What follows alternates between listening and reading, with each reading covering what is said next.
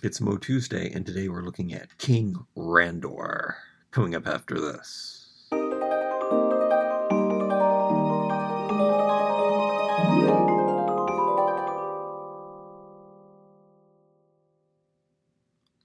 Okay, I recorded this video last week and the file got corrupt, but I just had so much to say about King Randor that I had to redo the video today and we will compare him and look at him in depth. I have been doing these figure reviews usually in sets of four, but I think I might have to take my time because I had such a good time opening and reviewing him, even though you'll never see that. But hopefully, I will be able to remember and talk about everything I talked about before. This is the figure that I wanted more than any other figure. It is the only figure that I came back to uh, get later in the years. So I do have original on card one. I couldn't bring myself to open it when I bought this in, I'd say it was 10 years ago. I paid $50 for it. I wanted it so badly, and that was a lot. Now I think it's probably, I don't know, I have no idea, I haven't looked in a while, probably $200 range. I'm not exactly sure because I, you know, don't want to know what the prices of the older toys are. So I don't really look because I might be tempted to sell the ones that I have open. This is the only on card um, original figure that I have.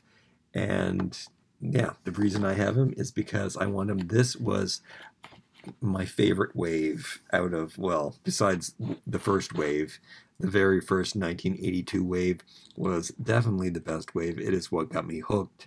Uh, when I saw those figures, I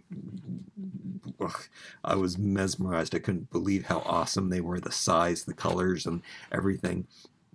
But until they really never captured that reuse of parts until the final, I believe, what I think it's the seventh wave, 1986 on the back of the card, but I think they that means that they were released in 1987.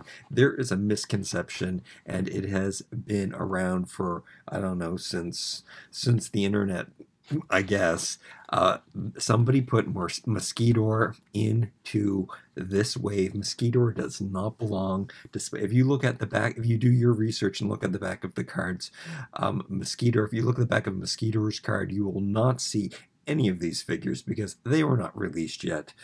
Um, I know because I never bought any of these figures. Well, they weren't like this. I have gathered together the Origins versions of the last wave. Now, what we're missing from the final wave, we're missing Snakeface, Squeeze, which kind of don't really count because they're in a category of their own, and Blast Attack. So, Blast Attack is the uh, the figure that I want the most. And after King Randor was um, um, scheduled to be released for the Origins line, uh, he, he, was the first one that I wanted because I, I never wanted to open up these. I mean, I also wanted Scareglow and Clamp Champ and uh, Ninjor. We've got we got these so early on in the Sorceress, and they re-released Faker when they did this. This this was the wave where they didn't want to spend too much money on bodies. So up until the final wave, they started sculpting like Mosquitor, for example,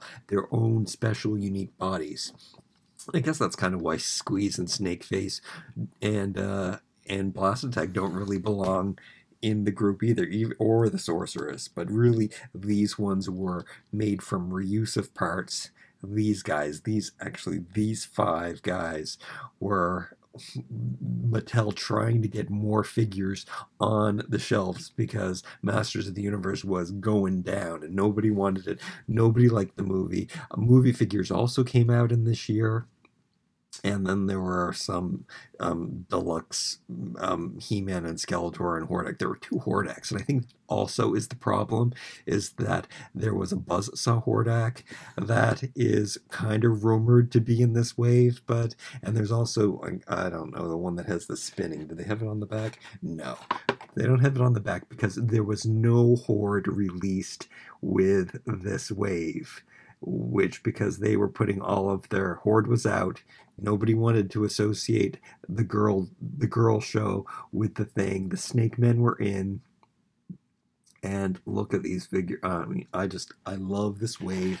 It's uh, my biggest regret in life is that I stopped collecting toys as this wave was coming out. And that is the reason I know all of this, is because I got Mosquitor, I got him with Extendar and Blast Attack, and I was paying for these figures with my own money, and I was so um, excited when they would come out. I would go to Zellers in Canada and buy them all and that is when I got um, Mosquitor and Extendar and Rio Blast and uh, Horde Trooper and, and, and and many many others that um, are great figures, but these were the first this was the first line to recapture that original feeling for me anyway. Uh, they were just cool figures. And anyway i'm so happy to have them but let's take a look at king randor.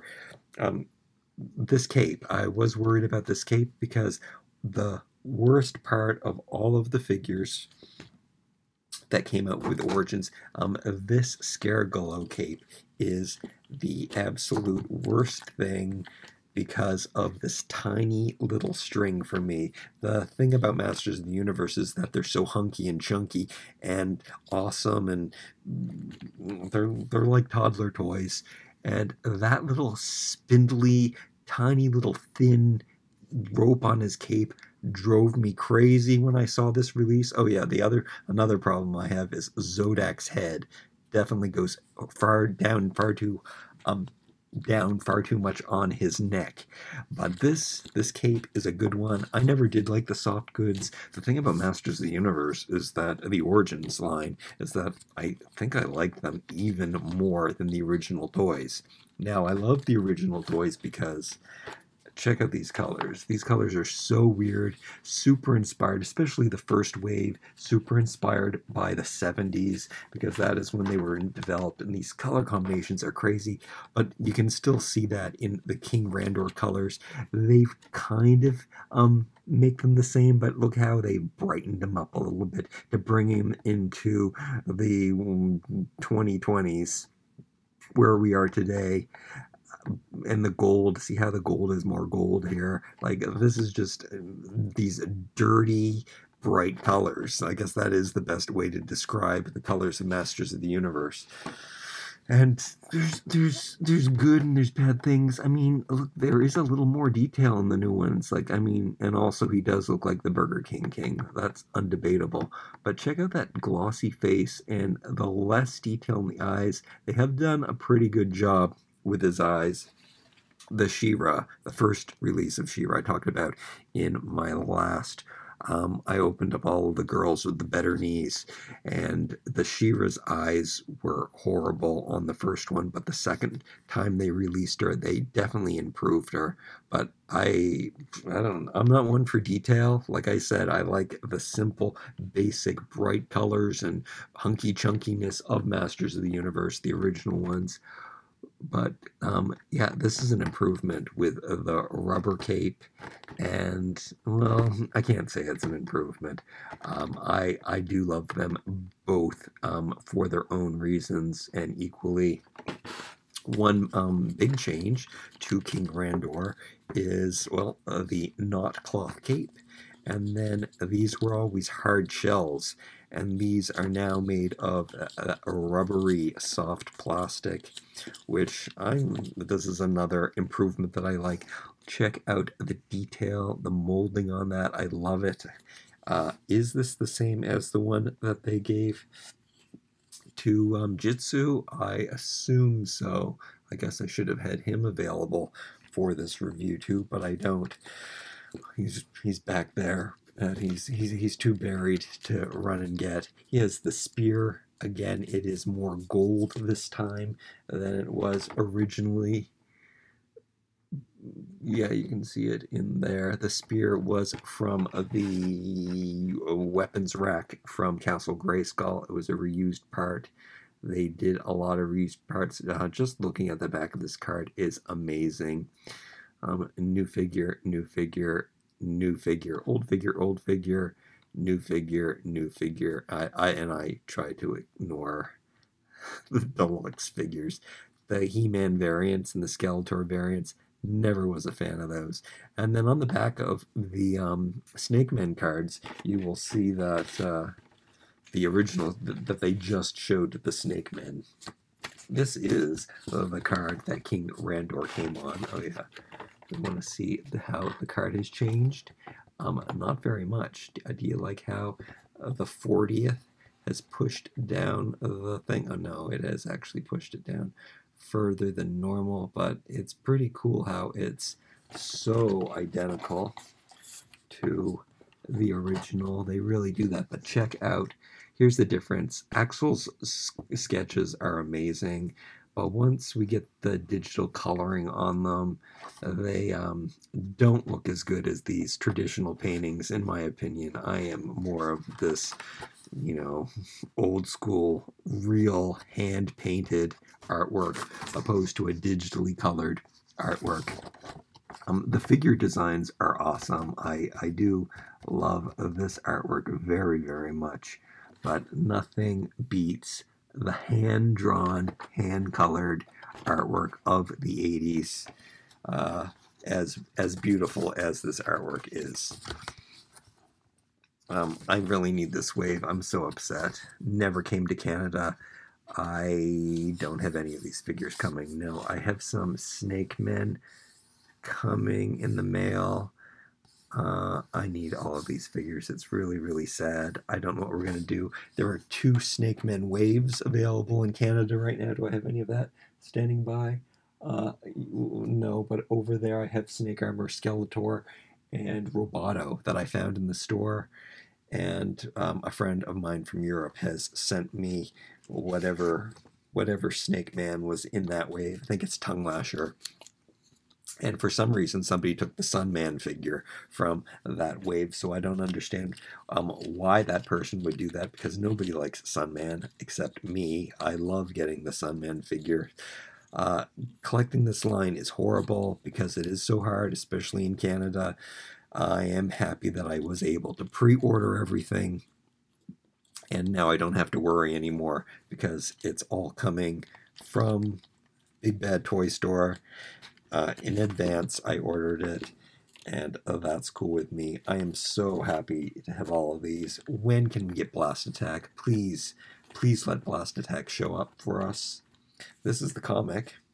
We get my my favorite schematic drawing that I love so much that tells you all of the parts that come apart, which I also have not played around with interchanging these, and I don't know what's up with that because that is something that I love in a toy, where you can mix and match the parts.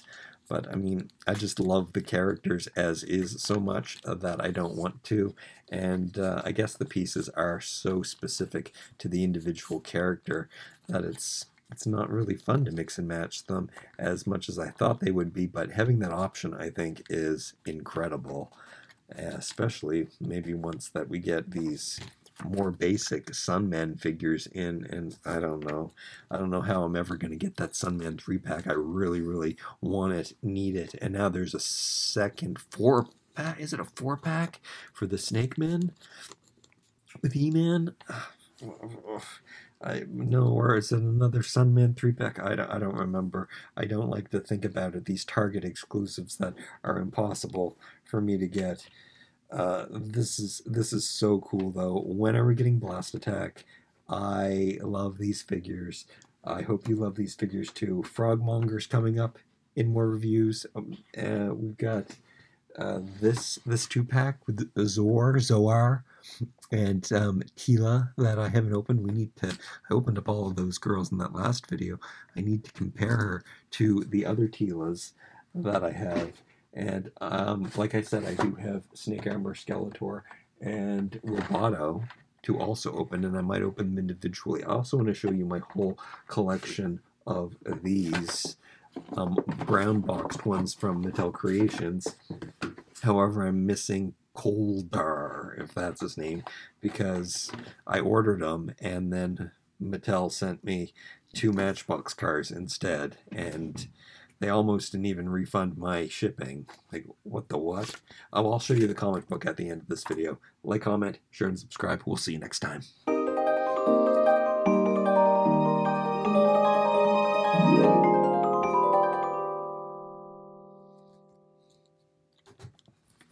So I love these comics. And if you've seen some of my videos before, you know that the Canadian comics do not have the interrupted text bubbles in them. So it's really, really cool. And you might have seen my binder where I collect them. I probably should try to strike up some kind of trade with an American fan who wants to get um, the comics without the bubbles. And then I can have copies of the ones with the text so I know what's going on in the story. And then they can have the other alternative version of the comic book. But again, the artwork is fantastic. I love the little figures on the back, the checklist, the cross sell it's it's it's it's it's beautiful stuff. Can't wait to get this guy. We're gonna be getting one of those guys eventually.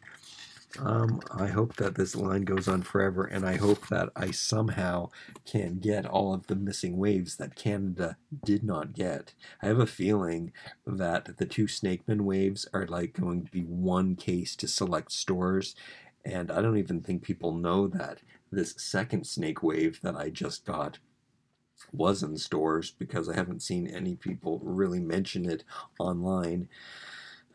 I, it, it, it's it's it's, uh, it's so sad. Can't I can't I just want to buy. I would have bought triples of every figure if they would have been available, but I was lucky to find one of each. Some of yet I'm still waiting to find. I love them though.